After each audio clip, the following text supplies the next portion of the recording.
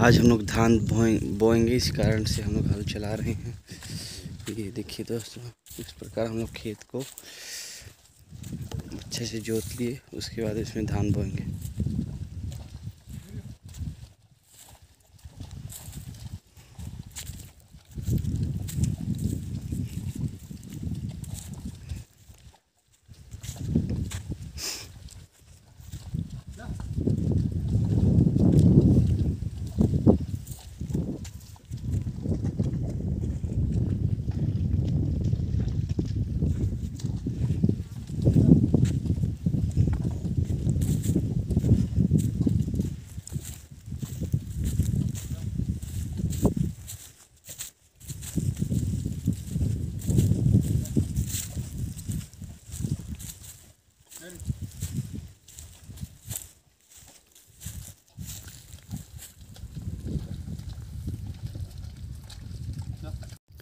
पहले को बोते हैं उसके बाद में धान बोते हैं।